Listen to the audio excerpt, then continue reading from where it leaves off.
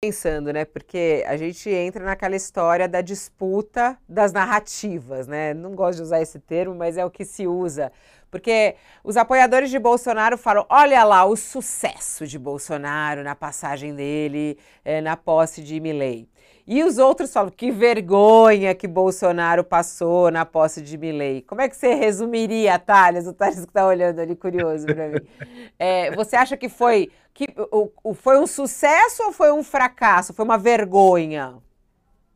Olha, para a bolha dele sempre vai ser um sucesso. Se o Bolsonaro fosse lá, deitasse numa poça de lama e rolasse, ia ser um sucesso para a bolha dele. Não, não tem, não tem é, coisa que mude o raciocínio dos seguidores é, fanáticos é, sobre isso. Eles acreditam até que a Terra pode ser não, não é redonda. Se, se Bolsonaro disser não é redonda, ele não é redonda. Acabou. Essa gente acredita tudo.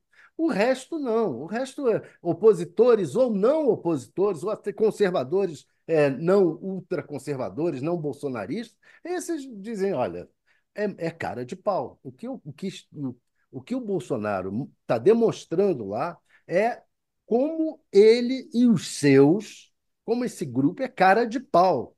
Ele desfilar ali como se fosse presidente, ainda presidente do Brasil, é um absurdo. Ele tentar entrar de penetra numa foto é um absurdo.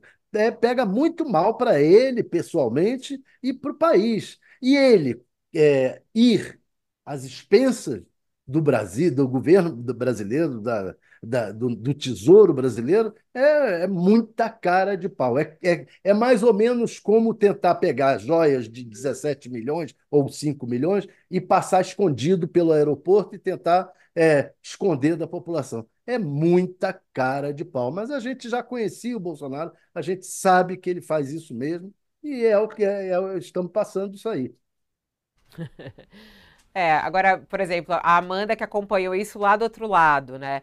É, você viu esse clima uh, dos apoiadores de Milley a Bolsonaro também? Eles têm Bolsonaro como uma referência é, para eles? É, tem essa conexão real, Amanda?